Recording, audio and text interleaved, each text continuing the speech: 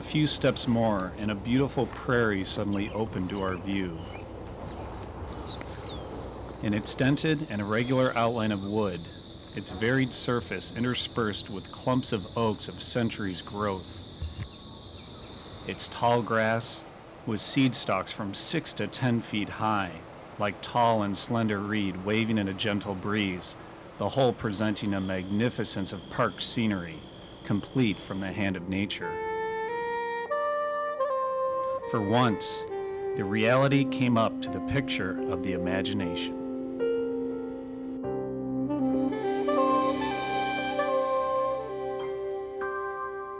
Well, Chicago Wilderness is about 200,000 acres of parks and preserves that preserve in their lands and waters some of the finest remaining examples of the native ecosystems of the Midwest.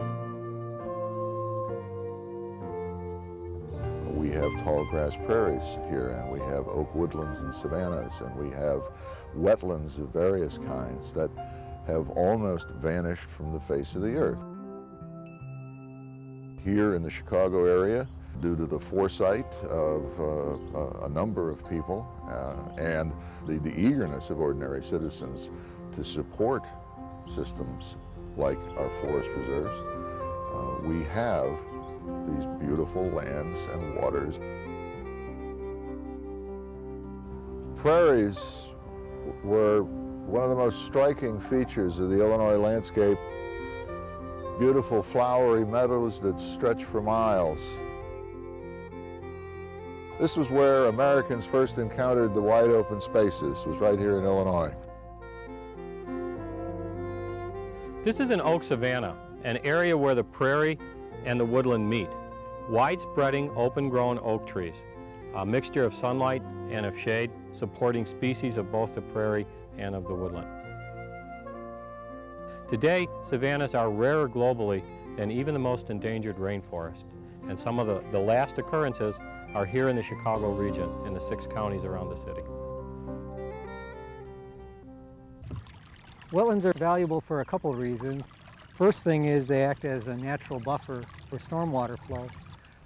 When there is a large rainstorm in an urbanized area, the water hits the pavement and runs off essentially immediately and moves it downstream and can often cause some flooding problems for the people in those downstream areas. To a good extent, when we destroy natural wetlands or build up on them, we eliminate that living sponge that is a good wetland area that absorbs that and we pass the problem on down to our neighbors further downstream. In a natural area, you've got open soil and plants with lots of thirsty roots that act as a big sponge to take up a lot of that initial moisture and reduce the rate of flow into the creeks. A lot of people look at green areas in terms of lawns and think that those are the equivalent of a nice natural wetland area. Unfortunately, our Kentucky bluegrass lawn acts more like a green form of asphalt than a nice natural area. The, the roots are all very surface oriented and there's a lot of thatch on the surface that reduces the ability of the soil to absorb any of the moisture and that's why it doesn't really do a very good job of picking up the moisture and holding it the way a nice natural Illinois wetland does. Any new development that goes in must be obliged to maintain the rainwater on their own site as good or better than what was there before.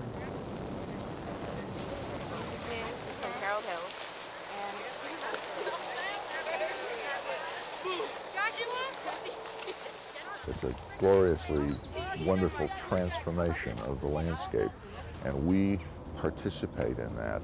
We participate in it not by imposing our idea of the landscape on it, but by reading the possibilities of the landscape, seeing what this place can be, what it has been in the past, what it can be again, and taking the actions that are needed. And the actions are natural processes that we are initiating. Unbelievable pictures. We have a brush fire that is out of control, according to Beach Park uh, Fire Department. Look at this. They tell us 100 acres currently burning here along the Lake Michigan shoreline, east of Sheridan Road, right around a cross street of Wadsworth or so. This is the Illinois Beach State Park, uh, which borders Lake Michigan here. We're still over this breaking news situation, a huge 100-acre brush fire in Illinois Beach State Park. That's in north suburban.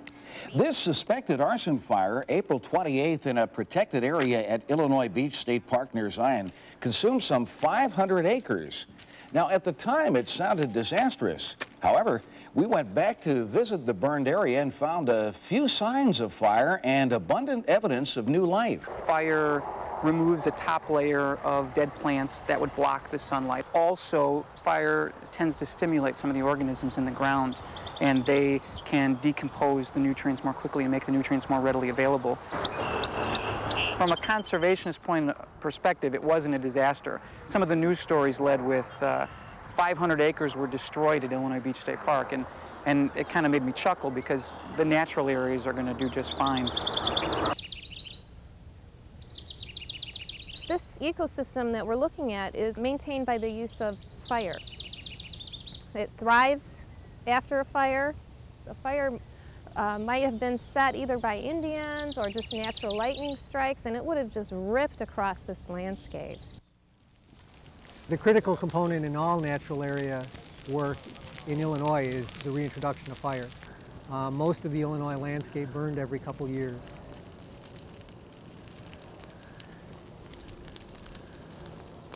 In the case of prairie, what it did was remove the dead plant material that was on the ground and allow the soil to become bare in the sense of blackened and that allows the sun to come down, warm the soil, and it gives the prairie plants a head start in the spring.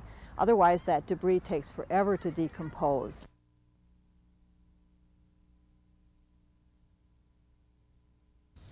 This is such an incredible um, little wet prairie here on the right side with all the blazing star blooming and um, the big blue stem and Indian grass.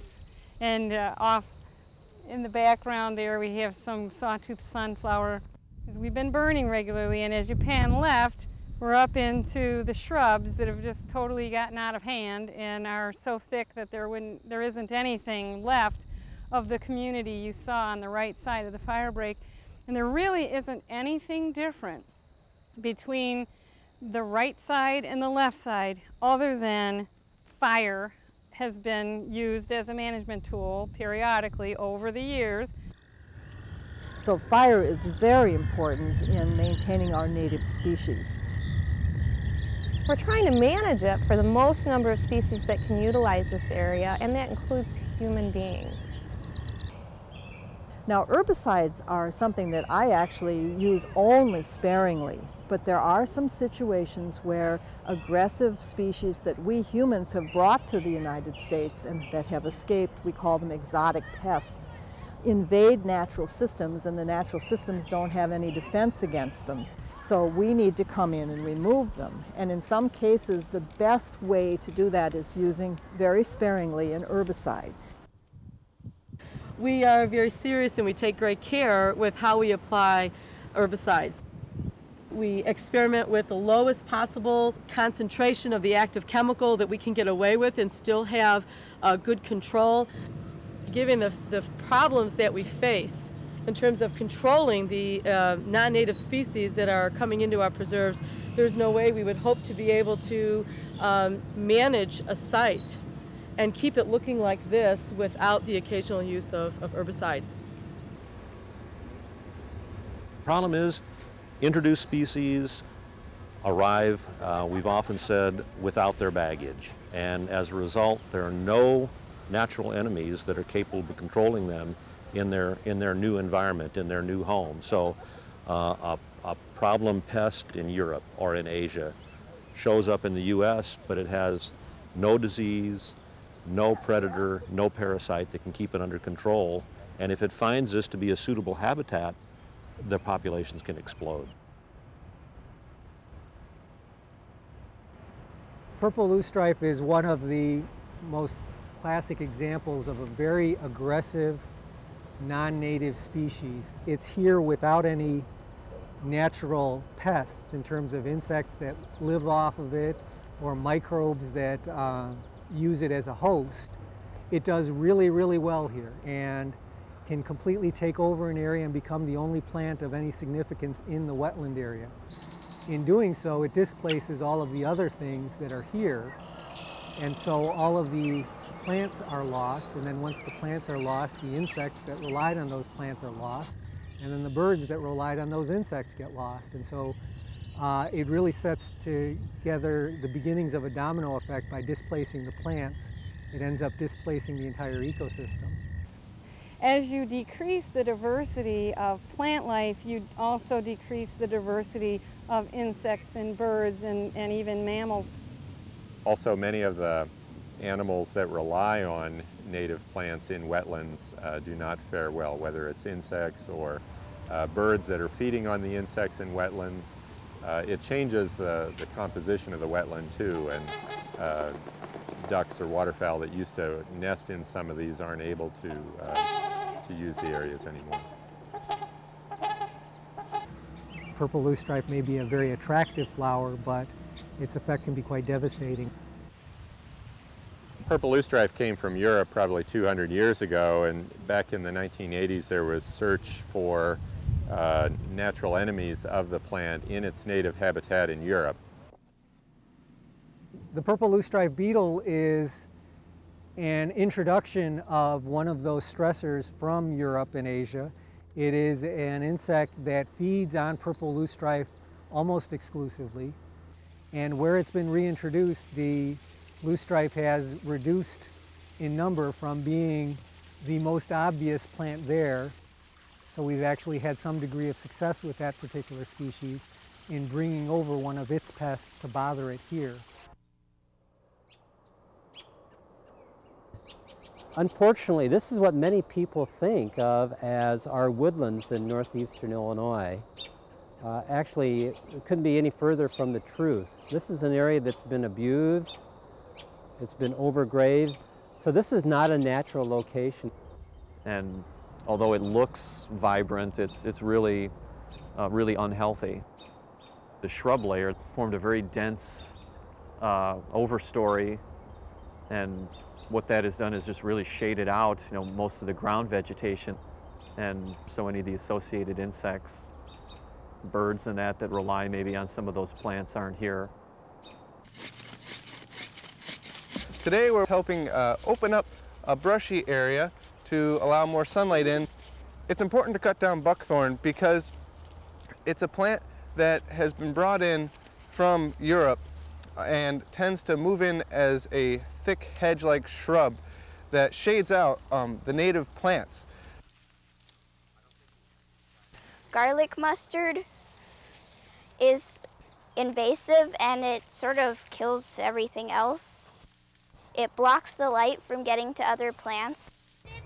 Today we're pulling garlic mustard. Some days we chop buckthorn. We're trying to get all the invasive plants out of the way so that the native species have room to grow. When you, uh, when you begin removing the garlic mustard in areas like this, the native plants really do start to respond um, fairly quickly. I do see, besides the um, uh, blue-eyed Mary, there's some small patches of wild ginger, and, and we know that once we remove the garlic mustard, that will respond, and uh, we would have a, a pretty good ground cover of native plants. So that would be the, the goal in the management. Another set of species that we're really concerned about in terms of their impacts on water, water systems are a couple of species of Asian carp. And they've had a very dramatic impact on river ecosystems, at least in certain habitats, where biologists have gone in and sampled certain habitats in the Mississippi River and found that 97% of the fish biomass there was Asian carp. And so that's really taken a big toll on the native fishes that are, are commonly there. The Asian bighead carp. DNR officials so worried about carp infiltrating the lake, they are replacing this electric barrier along the Chicago Sanitary and Ship Canal with a $7 million one, all to keep them out.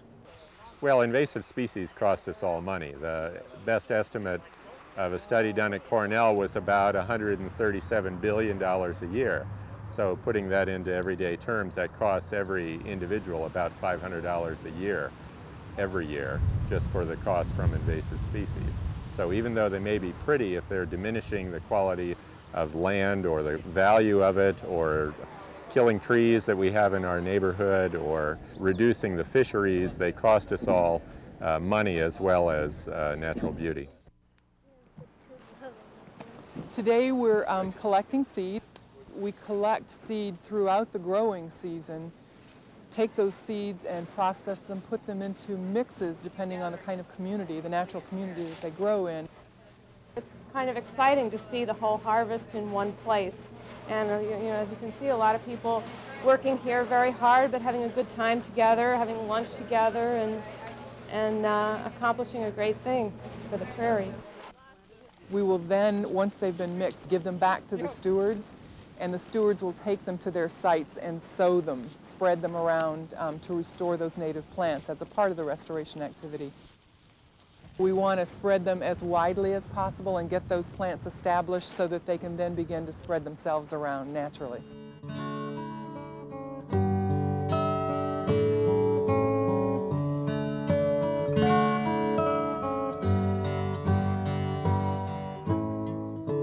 There's a wholeness to being in places like this. There's uh, a completeness that you can't get inside of a building. To me, the land itself is what has made us a people. And when I step into it, when I'm out working in it, uh, I feel a completeness that I can't find inside of a building or inside of an office. Um, we are, in a very real sense, an outdoor people. That's how our culture evolved. And uh, I find a connection to both the past and to the future as well by being out in it and working with it. I got into conservation because I would walk through the woods and prairies and I would see scenes like this and think nothing looked more beautiful. Um, to me, personally, it's almost like a spiritual experience. I mean, you feel like you're seeing something authentic and you're seeing something that um, is incredibly special and there's a sense of, of peace, of tranquility. You kind of get recentered. I look at this and I want to sit down and say, this is just incredible. I mean, this is beautiful. Studies over and over again have proved the value of outdoor experiences um, for the mental and physical health of people and landscapes like this will nurture our souls as well as provide thriving habitat for many endangered and threatened species. To see sandhill cranes among oak trees is, is remarkable. Historically, this is where they occurred as well as in the open prairies nearby. Um, the trees are widely spaced enough. There's enough open ground here, enough wetlands. It, it's good for my heart and soul. I truly believe that some of these oak trees some of the genetic makeup of these cranes existed 8,000 years ago. And what we're seeing is, is that picture.